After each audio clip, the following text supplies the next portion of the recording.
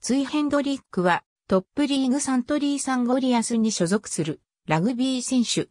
デラセラ高校を経て帝京大学へと進む。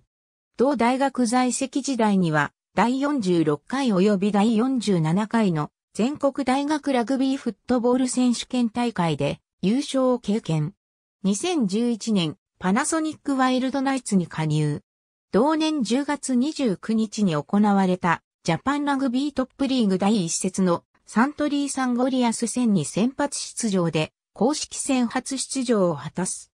2012年日本代表に選出され、 IRB パシフィックネーションズカップの対トンガ戦が初のキャップ試合となった。